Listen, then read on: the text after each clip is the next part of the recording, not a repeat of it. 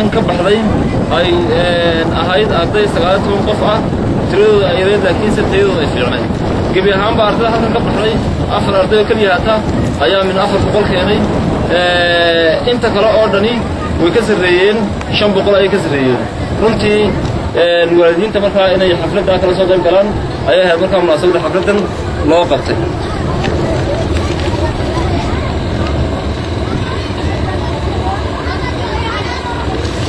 runtii dugsigan waxaa la aasaasay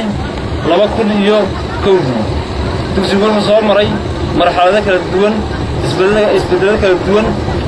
horumarino fara badan ayuu soo maray. Run ahaantii waxaa dugsigan wax ka barta arday tiradoodu ay dhan tahay saddex boqol iyo konton arday. Ardaydaasi oo akhlaaqad ahaan iyo aqoon ahaan wax lagu matalaaysan jirin ardayda dugsiga halkan wax ka dhigata waxaa ka baxay saddex lod ayaa ka baxay. Lodkii koowaad wuxuu ka baxay laba kun toban laba kun iyo koob iyo toban. Lodkaasi oo saddex arday ay ku jireen kaalmaha ugu sarreeya gobolka awdal tobanka ugu sarreeya. Gobolka markaa qofkii qofkii markaa maxaa degmada hogaaminayey ayaa wuxuu ahaa markaa isaguna arday dhibco fiican haysta mukhtaar jaamac axmed. Waa laba kun iyo toban laba kun iyo koob iyo toban isla markaa runtii sanadii labaad waxaa ku jiray tobanka ugu horreeya laba arday ayaa iyaguna ku jiray. Degmada markaa maxaa gabadh baa hogaaminaysay. Gabadhaas magaceegu waxaa iyadana nimco daahir ciise. Sidoo kale waxaa iyadana markaa maxaa sanadkan gobolka oo dhan hogaaminaysa iyaduna gabadha la idhaahdo ayaan maxamuud xaddi oo dhibco fiican ku gashay kaalinta koowaad iyadoo haysata markaa maxaa lix boqol iyo saddex waxaa lu malinaya markaa xagga somalilanka qofka koobiyo tobnaad ay ka tahay oo tobankii arday ugu sarreeyen ay ka sarreeyaan sidaa awgeed dugsigu wuxuu soo maray marxalado fara badan saddex xaaladood ee markaa isku xigayna kaalmo fiifiican ayay ka galeen dhibcaha markaa maxaade gobolka ubadkooga ka warqabaan inay ubadkooga la dadaalaan inay ubadkooga daba joogaan inay la xisaabtamaan inay ogaadaan korba heerka aqoomeed iyo heer aniga oo maanta xafladda ka qaybgelaya waxay xusuusinaysaa wakhti ka mida wakhtiyadii aan degmada wax ka baran jiray ee ay nagala soo qaybgeli jireen waalidiinta iyo odayada odayadii qiimaha lahaa ee deegaanka dila. Oo uu ka mid ahaa maanta magaca uu ku tilmaamaya xuseen migen uu ka mid ahaa uu ka mid ahaa sheekh cumar good uu ka mid ahaa cabdi bede oo eryo badan oo taariikhda kaga tegi jiray hadallada markuu ka hadlayo. Uu ka mid ahaa sheekh cabdillaahi diriyo oo macallinkayga ka mid ahaa. Ana soo koobi kara odayaasha arrintani maanta arrintaasi aniga aad i xusuusinaysaa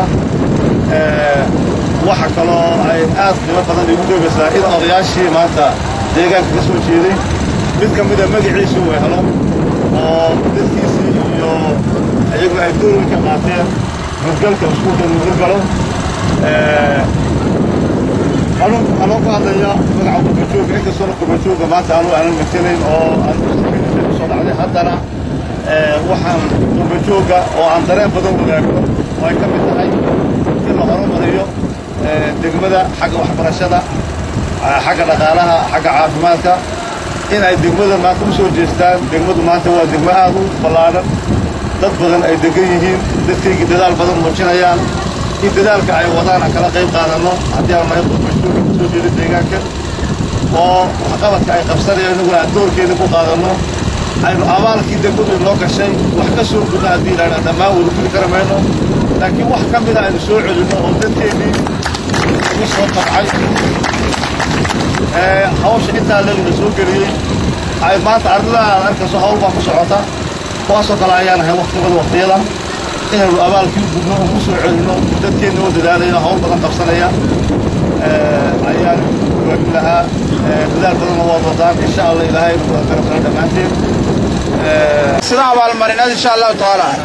Si ay ardada ugu noqoto dhiirigelin kuwan iminkana ay ugu noqoto ma garanaysaa abaalmarin kuwa dambana ay ugu noqoto dhiirigelin haddii ilaahay qadaro midna waan ognahay abaalmarintaas iyo guddoonsiintaas iyo inaan u mahadnaqno ardaydeennan degmada dila ama gobol ahaan awdalba doorka fiican ama guusha wanaagsan ee ay ka soo hoyeen somalilan ama ka gobol ahaanba. Sidaa darteed waxaan ugu talagalnay markaa inagoo ay waajibi naga wala saaran yahay haddaan nahay waalidiinta iyo haddii aan nahay macallimiinta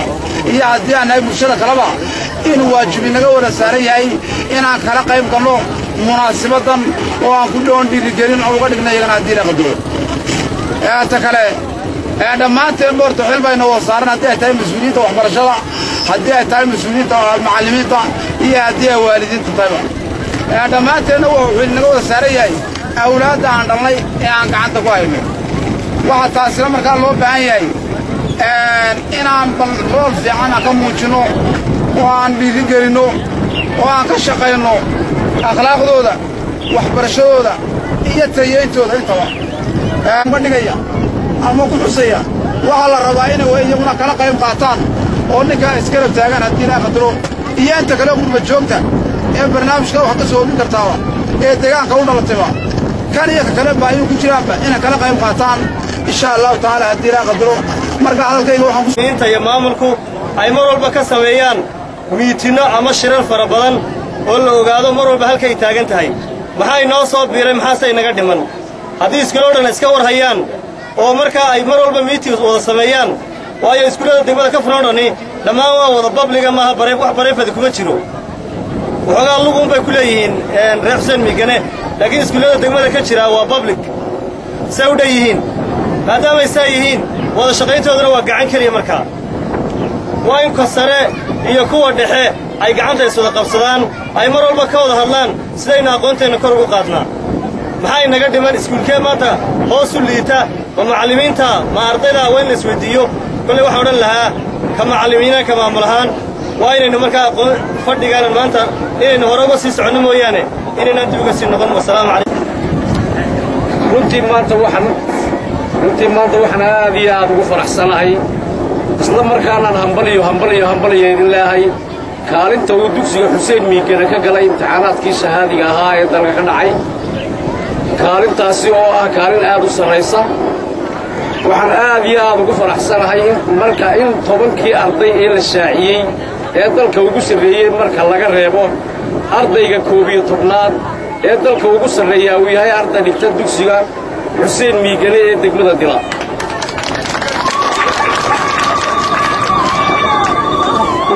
kolley waxaan aad iyo aad ugu faraxsanahay dadaalka kartida firfircoonnida waxbarasho ee ay muujiyeen ardayda dhigata dugsiga iyo macallimiinta dugsiga xuseen miigane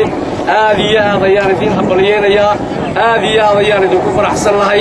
waanan idinku faanaynaa maxaa yeelay waxaad magac iyo sharaf u soo hayseen shacbiga degmada dila waxaad magac iyo sharaf u soo hayseen shacbiga gobolka awdal. Waxaad magac iyo sharaf u soo hayseen shacbiga somalilan isla waxaad kor u qaadeen magaca qaranka jamhuuriyadda somalilan ilaahayna waxaan idinka baryaa waxbarashada inta idiin hadha inuu idiin fududeeyo.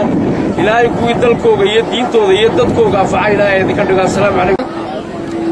Waayadii hore hablaha oo kale waxbarashada inaan laba geyn jirin baad moodaa maanta gobolka inan baa u sarraysa oo dugsigan xuseen miigana inanta kaalinta koowaad ku guulaysatay somalilanna gabadh baa u sarraysa halkii awal ay habluhu guriga un ka fadhii jireen. Ee inamadun iskuulka la geyn jiray. Waxaad mooddaa dadku inay xuquuqdii inaka iyana tuba lahaayeen. In la soo fahmayo hablihiina waxbarashadaba ay kaga fiican yihiin baad mooddaa inamada maanta. Haddaan yar xusaalkaa waxaa jira inatan ugu sarraysa dugsigan. Waxay keentay dhibceegu lix boqol iyo saddex bay ahaayeen. Guddoomiye waxbarashada gobolka kolley aad inoogu faahfaahin doona. Ta ugu sarraysa somalilanna lix boqol iyo toddobiyo toban bay ahayd. Waxaa isdeeriyin waa intaa yar ee kooban ee la wada dareemi karaya weeyaan.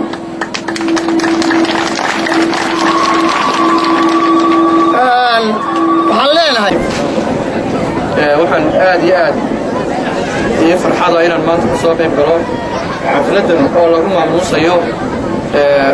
ardaydii ugu sarraysay imtixaankii shahaadiga ahaa ee fasalada sideedaad. Ardayadda la ayaan waxaa laga yaabaa miidiyaha ama ama warbaahinta inaad ka maqasheen waxay ugu sarraysay hablaha oo keliya. Tahay khalad bay ahayd laakiin rag iyo dumarba marka la isku daro gobolka awdal inantaasaa ugu sarraysa la idhaahdo ayaan xaji xaji ayaan xaji maxamuud xaji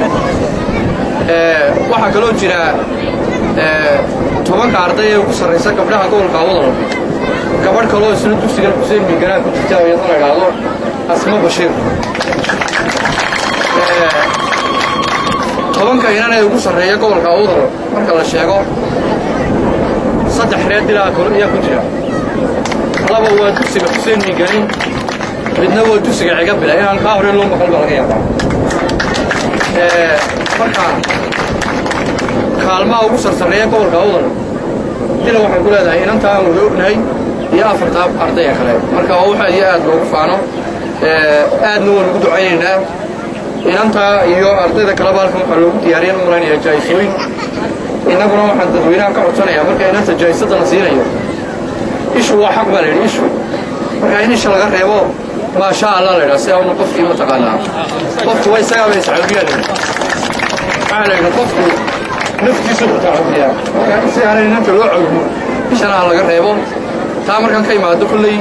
degmada dila maanta maadaama record ay ka qortay gobolka awdal iyo guud ahaan somalilandba inaanan la isdhiganoo la odhan maantaad ugu sarraysiin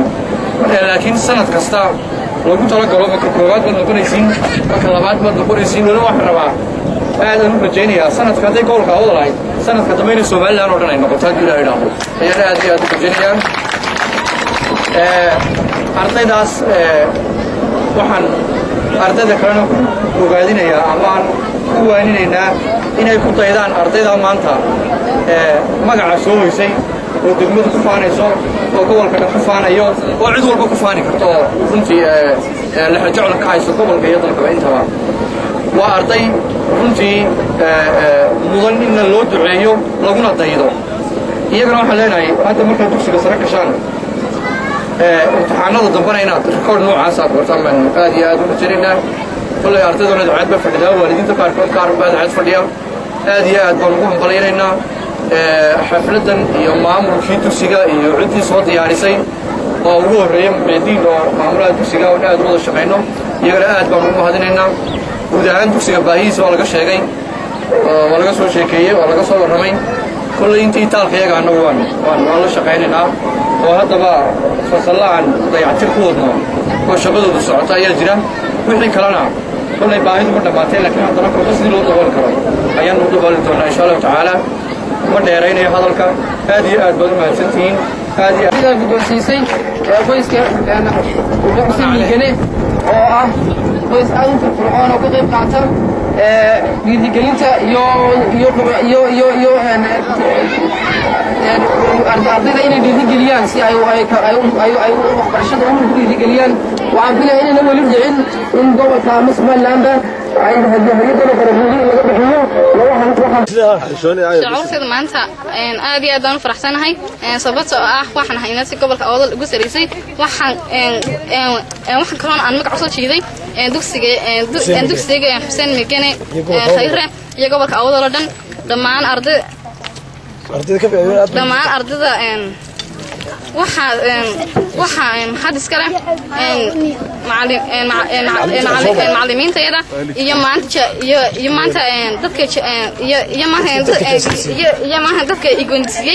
jaaysataan jaaysataan aad iyo aad u qaalida. Inta waxaanu abtiboonahay waxaan ku hadlay magaca waalidiinta.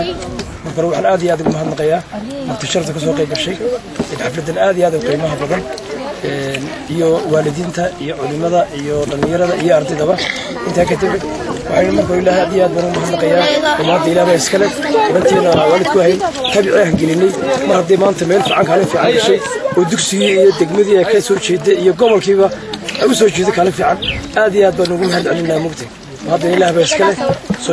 gobolka marka laga reebo gobolka marwadi jeex